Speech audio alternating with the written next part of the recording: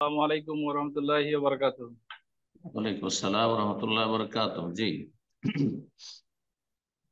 W Mehta Nadia জেলা থেকে বলছি। বলেন।